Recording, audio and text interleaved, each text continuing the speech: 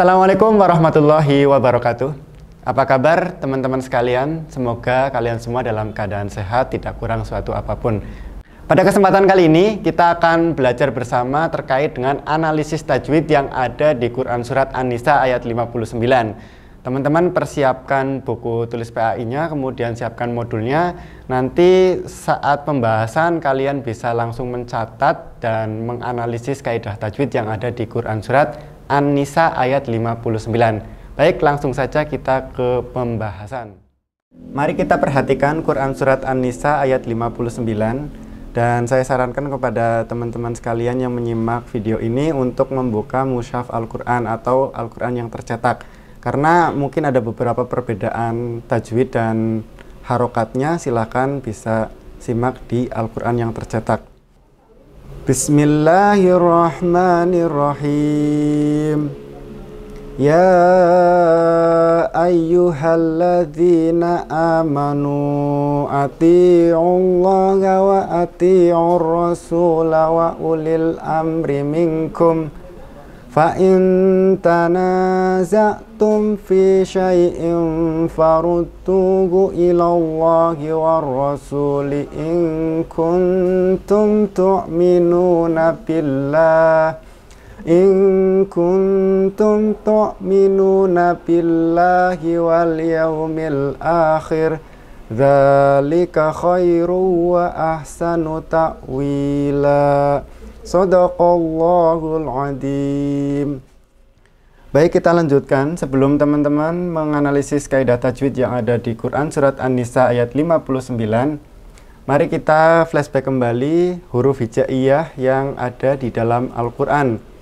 Huruf hijaiyah jumlahnya ada 28, alif, bata, tajim, haho, dal, roza, sin, shin, shud, dot, todo, ain, hin, faqaf, kaf, lam, mim, nun, wawu, ha, ya. Jadi saya kira teman-teman sudah hafal huruf hijaiyah yang jumlahnya ada 28 ini. Kenapa saya sampaikan huruf hijaiyahnya? Karena nanti ada beberapa hukum bacaan yang ketika bertemu dengan huruf hijaiyah itu memiliki nama atau memiliki hukum bacaan tersendiri.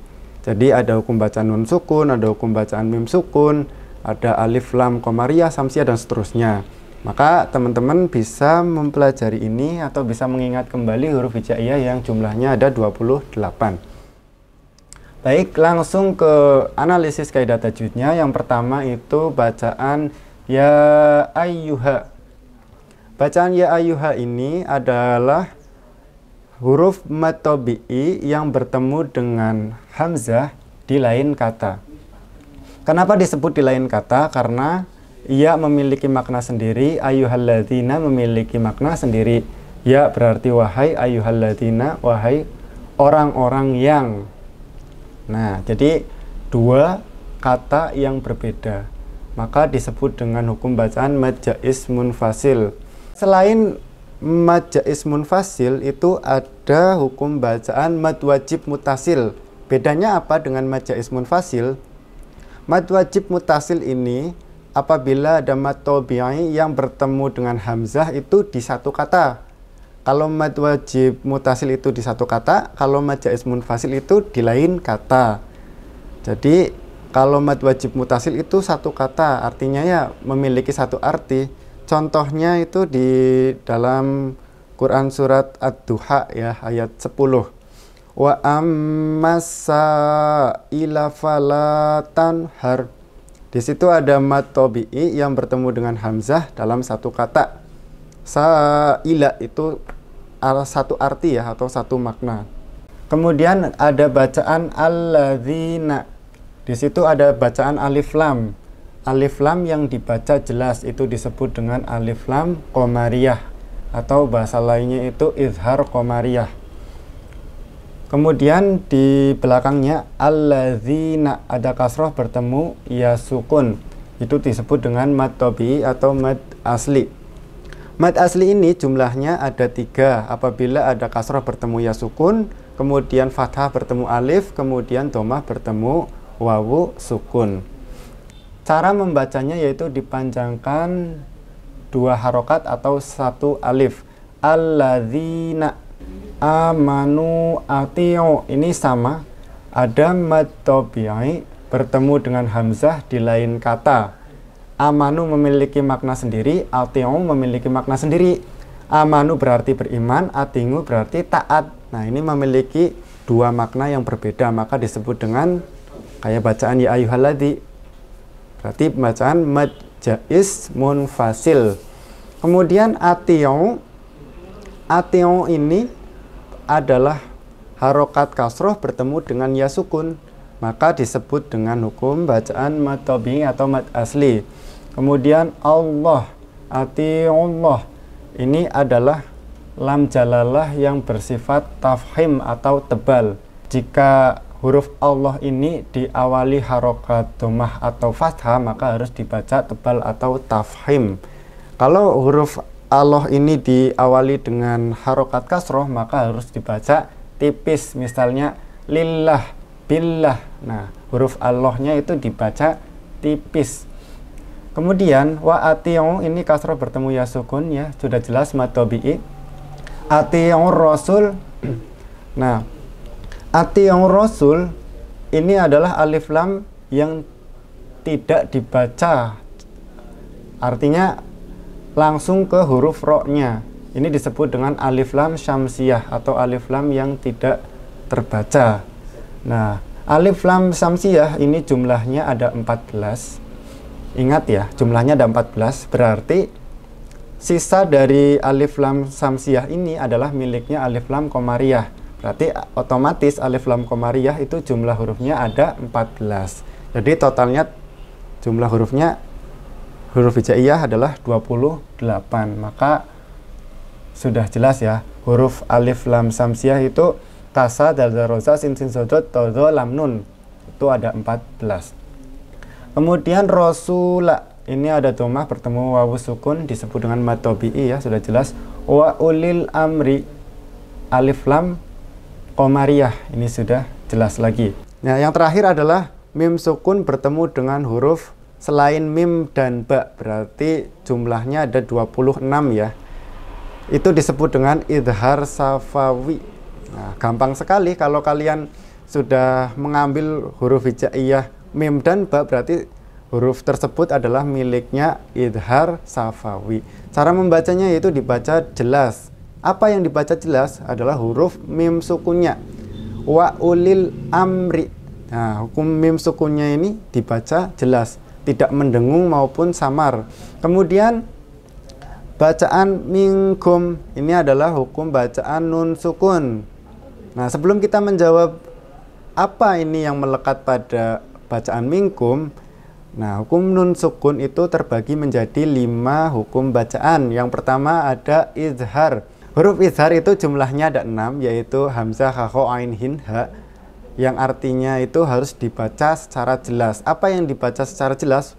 yaitu bunyi nun sukunnya. Nun sukunnya itu harus dibaca jelas. Kemudian hukum bacaan yang kedua yaitu idgham bi Dari sisi arti, idgham artinya itu memasukkan.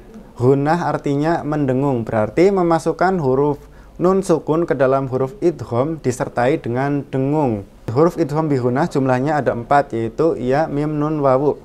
Kemudian hukum bacaan nun sukun yang ketiga adalah idhom bila hunah. Idhom artinya memasukkan bila hunah artinya tanpa dengung.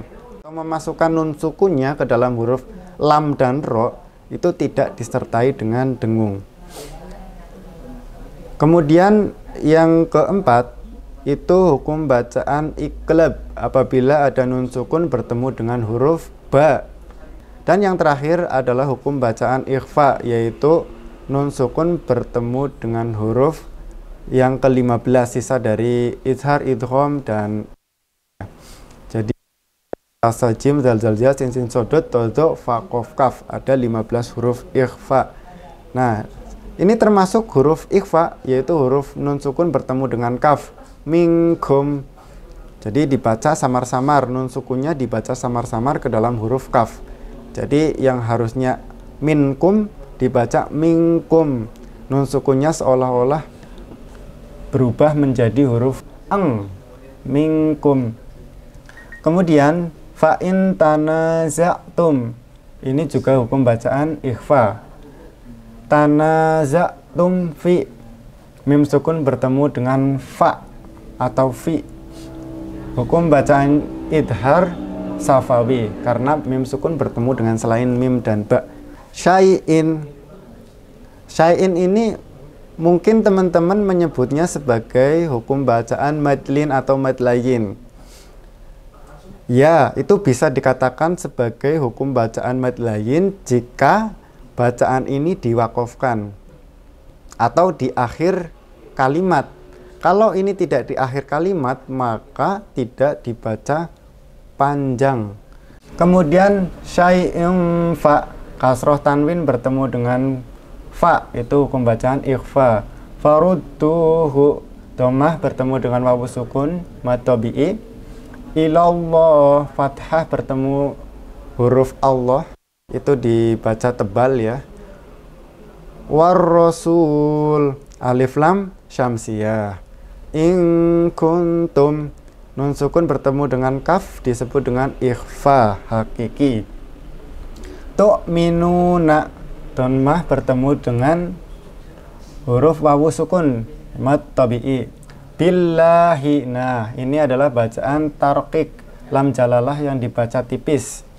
Wal yaumi ada huruf alif lam qamariyah yaumi kemudian zalika khairu wa ahsanu ta'wila. Dan yang terakhir ini bacaan ta'wila.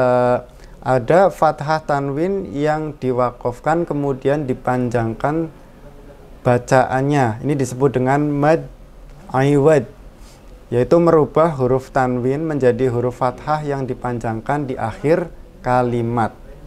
Jadi itulah beberapa analisis tajwid yang ada di Quran surat An-Nisa ayat 59. Jika teman-teman menemukan kesalahan atau menemukan uh, kaidah tajwid yang saya sampaikan kurang tepat, kalian bisa mengkoreksinya di kolom komentar maupun teman-teman bisa menyampaikannya secara langsung kepada saya. Demikian pembahasan terkait dengan analisis kaidah tajwid yang ada di Quran Surat An-Nisa ayat 59. Semoga kita bisa menerapkannya ketika kita membaca Al-Quran, baik di surat apa pun yang ada di dalam Al-Quran. Kita terapkan kaidah tajwid yang ada di dalamnya, karena kita harus menerapkan hak-hak yang ada di setiap huruf yang ada di dalam Al-Quran. Demikian yang dapat saya sampaikan. Mohon maaf atas segala kesalahan. Wabillahi taufik walhidayah. Wassalamualaikum warahmatullahi wabarakatuh.